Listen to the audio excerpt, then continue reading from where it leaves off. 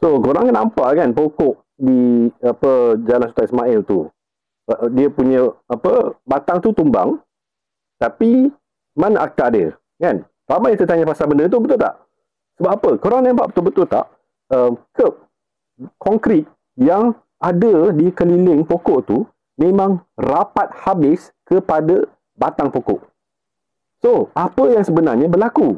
Cuba kita imagine apa yang sebenarnya manusia telah lakukan uh, untuk mendapatkan lantai yang cantik tapi uh, pokok tu uh, itulah dia sesak sesak nafas ya.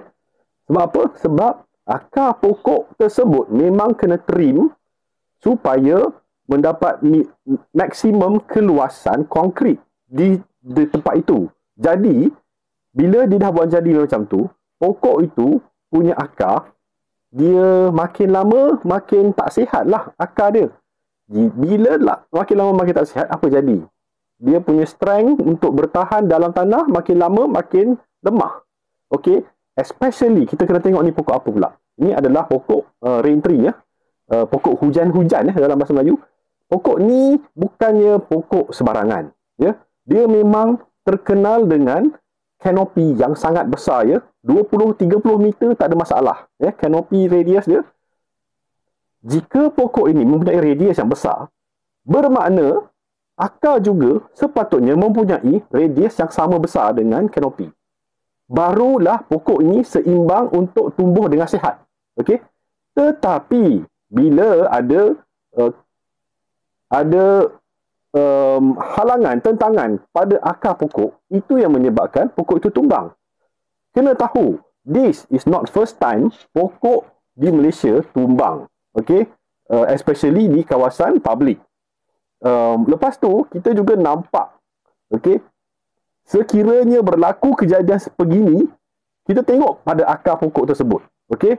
Contohnya yang saya pernah juga uh, marah sebelum ni, uh, iaitu di Melaka ya di tengah-tengah bandar Melaka di depan bangunan State Highs di mana pokok yang berusia lebih daripada 400 500 tahun tumbang.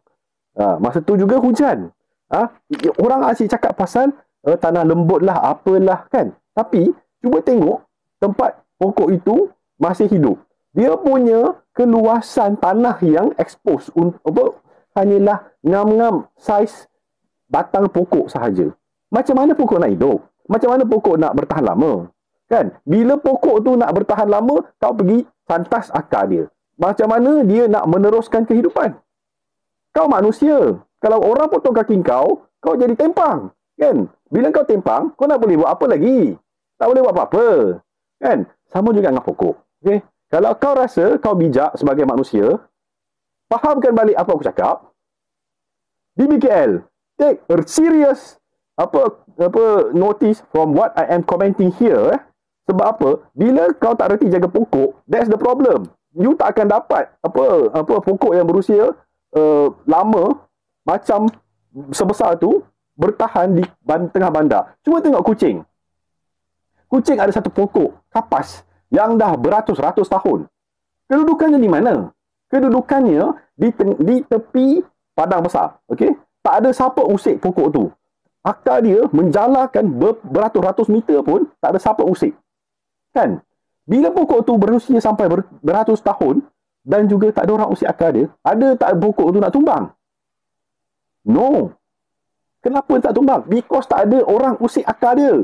Ini kan, korang pentingkan jalan, pentingkan kereta, pentingkan orang lalu lalang, tapi kau tak pentingkan kesihatan pokok. Lepas tu, cakap kita kena tebang, kita kena kontrol uh, pokok-pokok yang tua di sekeliling Kuala Lumpur. Ha. Korang tak faham pasal kehidupan pokok. Korang reti kehidupan kau sendiri je. Aku fed up betul lah dengan komen-komen yang kurang bijak macam ni.